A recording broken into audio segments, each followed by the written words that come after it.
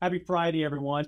I don't know if you can relate to this, but I'm a fix it guy. I like to see problems and I like to solve them. I like to find solutions and keep moving forward.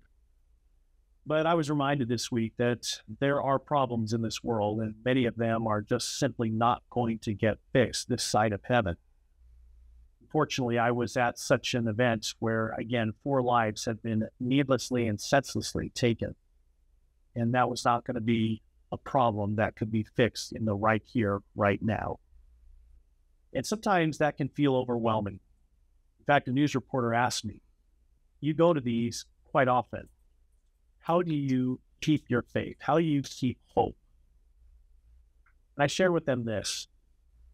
You know, sometimes I realize and I need to accept that there are problems that are not going to be fixed this side of heaven. But I realize that there's a way to respond still there is something that we can still choose to do.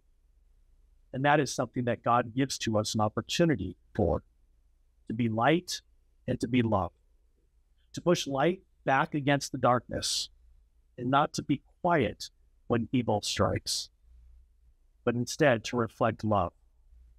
Where hate has been shown and demonstrated, we can enter into that place and we can share love and hope and that's what I want to encourage each of you this weekend. No matter where you go, remember that Matthew 5 16 reminds us to let our light be something that the whole world can see through our good deeds. Be kind to somebody this weekend.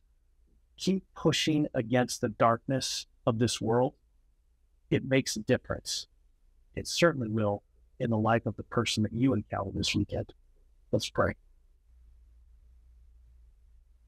Again, Heavenly Father, we come to you and we know that there is darkness and brokenness and evil in this world. It is the sin of mankind, and we're participants in that.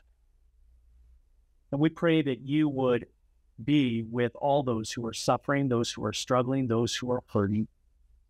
But would you especially help us not to give up, but to continue to reflect your light and your love to a world that so desperately needs that.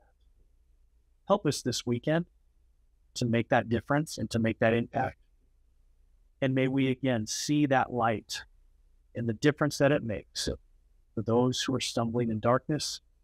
And may we be encouraged and inspired to continue walking in the light as you have called us to do through your Son, Jesus. And it's in his name we pray. Amen.